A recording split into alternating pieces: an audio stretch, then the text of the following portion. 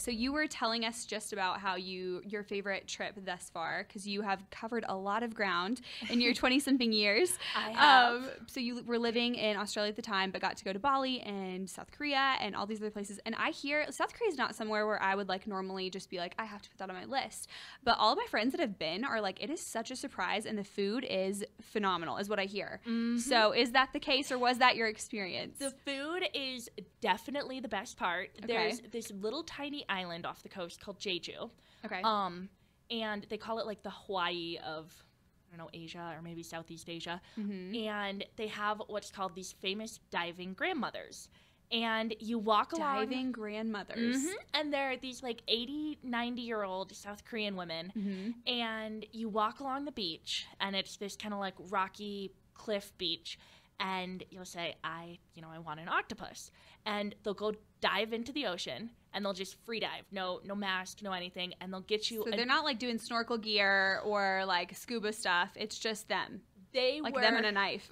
pretty much they were much better oh swimmers than i am at this age and they were you know in their 80s and 90s they were And you did swim team, right? yes i did Okay, my goodness. but you know so these grandmas come up with an octopus and they you just eat it raw right there on the beach and they'll pull out a little bottle of you know soju or coke or whatever and that's your lunch That was it. So that's like sushi on another level, fresh. pretty much the octopus could go back to the ocean anytime if it We tried to cut off one of the tentacles.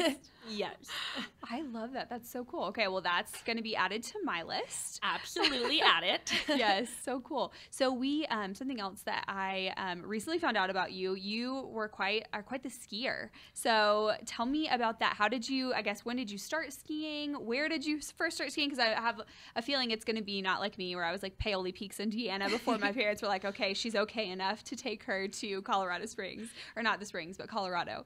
So where? What did that look like for you? well um i started skiing probably when i was about four or five Okay. we were living in venezuela at the time Okay. and my mom had just been diagnosed with stage four breast cancer. And so my dad bought her a condo as a gift to like cheer her up and to Yeah. have to have a family home to go to.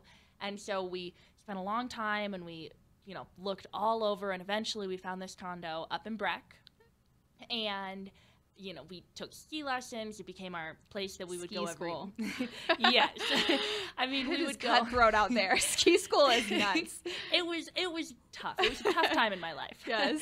and we would go for you know two weeks at a time, and hmm and we still have the condo. I'm actually going up there this weekend, and And your mother is still with us? Yes, she's okay. still with us. I was going to say, you were just talking about your mom, so I feel pretty confident in saying that. So, yes, it's been about 20 years in remission. so some mountain therapy, thank, thank God. And then also some mountain therapy clearly helped. And the fresh That's air does everyone good. I mean, if someone bought me a condo in Colorado, I think I'd be doing a, a heck of a lot better. pretty than, much. you I, know. I always tell Ari that's my dream gift. You know, puppy's fine, but condo.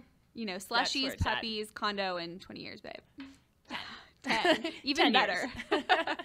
I love it. So you, um, I guess, where are some of the places that you've gotten to ski besides Colorado? Because I'm sure Oh. it's not just here. Yeah, so let me see. I think Colorado might be the only place in. Oh, nope. I've also skied in Park City in the US. Okay. But we've also done like northern France, Switzerland, Austria, Germany. Not surprised at all. Those kind of places. Okay. So You're like the Swiss Alps are a little hard to beat, but I actually have to say, Colorado mountains beat them. you think so? I do okay. think so. You might be one of the first people that I've heard say that. What about Breckenridge? Because you all are in Breckenridge. Mm-hmm. Is like just it for you? Does it feel like you're like home base mountain? It feels like home base mountain, and I know this is a really odd thing, but just having like cell phone reception on the mountain and always having someplace yes. to stop and you know like warm soup and that sort of thing it's just it's a lot more convenient That is true. Not as hardcore uh, as Right. going like all day and being frozen by four and you're like, get me off this mountain, I'm a popsicle. and everyone in europe is just so hardcore about skiing and so you know here you can just roll through It's the true. blues and cruise but in europe they're like you gotta go you gotta go get down that mountain and i remember the first time i got hit by a skier i expected them to apologize Yeah, no. but no they were just like internationally. you were in my way like, how dare you? You- like you should have eyes in the back of your head. exactly and i was like i'm nine years old oh my goodness. I- like I'm a child. exactly Help me out.